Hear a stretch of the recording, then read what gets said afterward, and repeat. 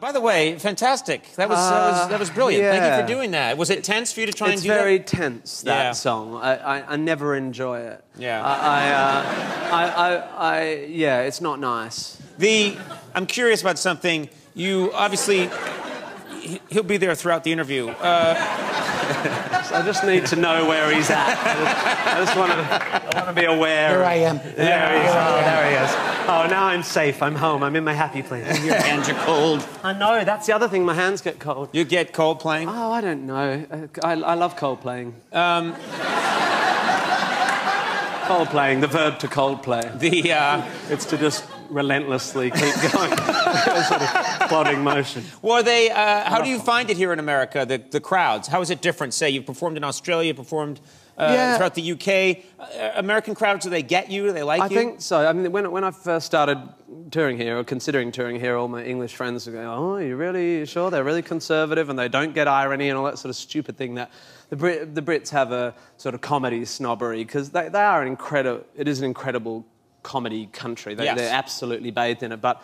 It's, it's bollocks. That I, I, I, it's, I've, I, I noticed very little difference indeed, uh, especially with my audiences, because I talk about sex and God and death and stuff, and they're quite universal things. I'm not talking about, oh, back in West Australia, don't you hate it when the bus is, you know, it's Right, not, right. it's not, it's not But I do hate those West Australian buses. Yeah, well, I mean, they're- you're, I think you are- they're bollocks. In Australia, you're famous for hating our buses. That's why. That's why you don't rate. for. We resent you. People are. Well, uh, you've had uh, anyone protest any of your shows? Anyone take offense and get really angry? Well, n- no, I haven't had any protesters. I really, I'm, I, I'm working on it, but I, they won't come.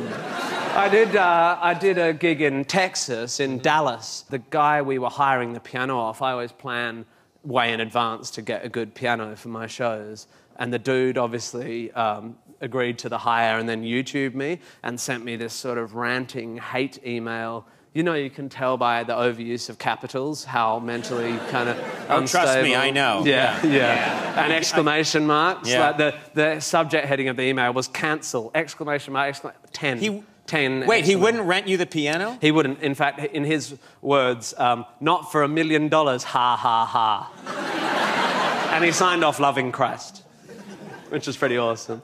But, um, but I did, I wanted to Could have try been an email from Jesus. it could have been. I mean, he's famous for caps lock. Um, I, I did want to offer him a million bucks because I respect someone who, because of their own moral, you know, whatever, decides they don't. I wouldn't want to support someone who is saying, you know, doing a whole lot of homophobic jokes, for example. I wouldn't hire my piano to Right. Westboro Baptist Church.